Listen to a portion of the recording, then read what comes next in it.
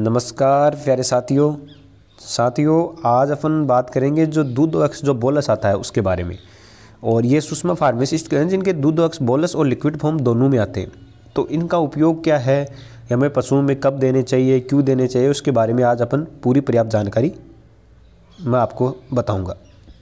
तो साथियों, जब हमारे पशु में क्या होता है, चिड़चिड़ापन या तनाव, अब यह तनाव और चिड़चिड़ापन पशु में किसी कारण हो सकता है, किसी बीमारी के कारण हो सकता है, पशु भी किसी चीज़ से परेशान, जैसे मक्खियों से परेशान होकर भी तनाव में आ सकता है, या फिर नर्वाइकल कोई समस्या है, तब भी पशु हो सकता है, या कोई मिनरल्स की डेफिशिएंसी कोई भी वाइटामिन वगैरह, अगर उसकी डेफिशिएंसी रहती है तो पशु चिड़चिड़ापन और तनाव जैसी समस्या में आ जाता है उस टाइम पशु क्या करता है, दूध उतारने, यानी दूध दोहने की समस्या में भी आनाकानी करने लग जाता है।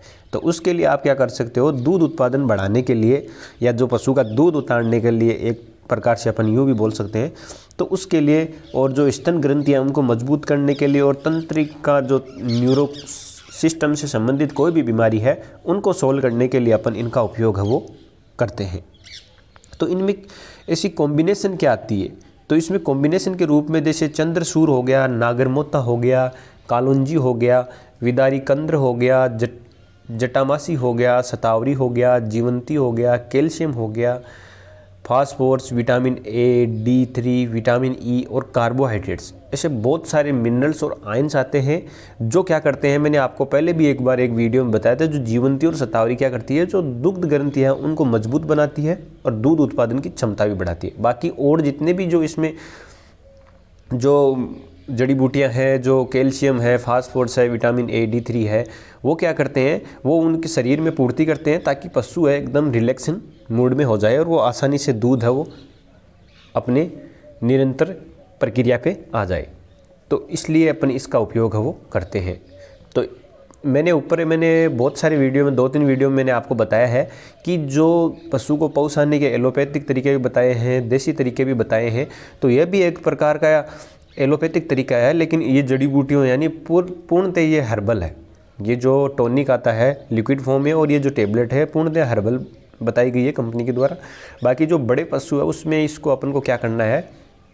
एक बोलस दूध दोहने से एक घंटे पहले या फिर 50 मिलीग्राम ये अपन को देना है लिक्विड फॉर्म में। अब देना कितनी बार है? मान लीजिए आपने सुबह एक घंटे पहले ये एक बोलस पशु को दे दी, फिर शाम को जब आप दूध निकालो तो उससे एक घंटे पहले फिर से आपको एक बोलस दे देनी है। तो ये तो था बड़े पशु में, और जो लिक्विड फॉर्म ला रहे हैं तो आपको 50 मिलीग्राम एक बार में देना आपको। और ये लगातार आपको 10 से 12 और 15 दिन तक आप दे सकते हो। इससे आपको रिज़ल्ट है वो देखने को मिल जाएगा। और जो छोटे पशु है, उसमें एक बट्टा चार भाग का बोलस और या फिर सौ कीगरा, यानी जो छोटे जानवर है, सौ के जी पे अपन को एक बट्टा चार भाग इस बोलस का है वो पशु में देना है। और ये भी दिन में दो बार देना है, दूध दोने से एक घंटे पहले। और वो भी 10 से 12 दिन तक 15 दिन तक भी अपन देंगे तो हमें अच्छा रिज़ल्ट है वो देखने को मिलेगा। और ये आपको इसका असर है, इस बोलस का, वो लगभग एक सप्ताह के अंदर अंदर आपको इस बोलस का वो असर आपको दिखने लग जाएगा। और इसकी जो पैकिंग है, वो चार बोलस की, एक एक डिब्बी में चार बोलस के दस पत्ते वो आते हैं। या फिर 1200 मिलीग्राम की बोतल है लिक्विड फॉर्म में लेना चाहते हो तो वो आती है। तो ये अच्छा और शानदार प्रोडक्ट है। इसका रिज़ल्ट है वो देखने को वो ठीक ठाक ही मिल रहा है, शानदार अच्छा। तो आप अपने पशुओं में जब पशु क्या कर रहे हैं, पाउसने की संबंधित कोई समस्या है या फिर दूध उत्पादन की क्षमता है वो अचानक से गिर गई है तो उस टाइम आप इन बोलस का है, वो उपयोग है, वो कर सकते हो। और मैंने एक सिचुएशन में आपको बहुत बारी मना किया है कि जब पशु हीट में आ रखा हो, उस टाइम अगर वो दूध देने में दिक्कत कर रहा है तो उस टाइम हमें कोई भी दवा टॉनिक है, वो नहीं देनी है। वो एक नॉर्मल प्रक्रिया है, पशु ऑटोमेटिक है। जब भी उसका स्ट्रेस साइकिल जो हीट का जो पीरियड है, वो ख़त्म होगा, तब वो वापस अपने मिल्किंग पे वापस आराम से वो, आराम से आ जाएगा। तो ये था एक दूध एक्स जो बोलस और जो लिक्विड फॉर्म आता है, उसके बारे में। यदि आपको जानकारी पर्याप्त मिली है तो वीडियो को लाइक शेयर कीजिए और अन्य पशुपालकों को भी। शेयर कर दीजिए ताकि वो भी इस चीज़ को, जो परेशानी है, उसके अकॉर्डिंग अपनी समस्या है, वो इस चीज़ से सोल्व कर सके।